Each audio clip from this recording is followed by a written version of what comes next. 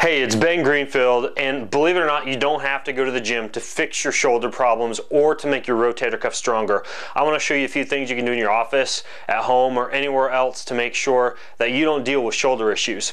So, I'm also going to show you two exercises that I see a lot of people doing that you want to completely avoid if you've got shoulder and rotator cuff issues.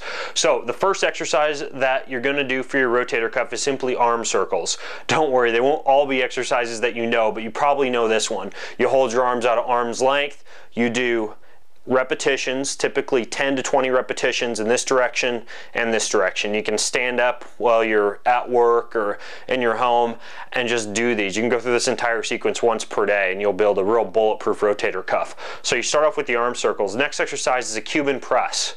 I have no clue how it got that name, but that's what it's called. So Cuban press, you're gonna start here. Shrug your shoulders. Next, you bring your hands up like this. You press, you come down, reverse direction, and back down. Again, up, out, rotate, press overhead, down, rotate, and reverse back to the beginning. You can use a light set of dumbbells for that, but you don't need to, especially if you're just getting started with that exercise. It'll help improve your shoulder range of motion. Okay, the next one is a push-up with what's called scaption. So the way that you do this is you get down on the ground and you're gonna do a push-up, but you overemphasize the movement of the shoulder blades. So you drop, and as you push up, you draw your shoulder blades as high as possible, and then you come down again, come up, draw your shoulder blades as high as possible. So you're almost locking yourself up in that slightly hunched back position. All right, next exercise you're gonna do is basically a thoracic rotation exercise. The mid-back region of your spine and immobility in that mid-back region can really affect the health of your shoulders.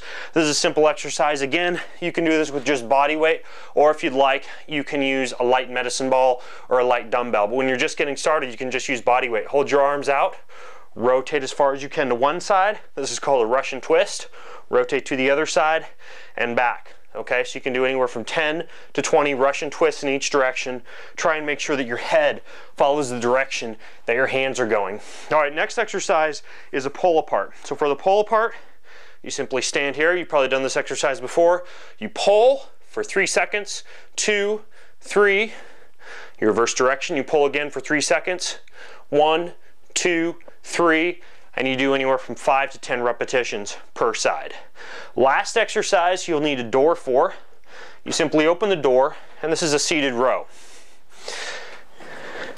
You're to drop down into this position. You can use just about any door for this. I'm tall, so I filled the door up pretty well. You can probably see my dog in the background. You're just going to pull yourself forward and extend and try and keep your shoulder blades squeezed back as you pull.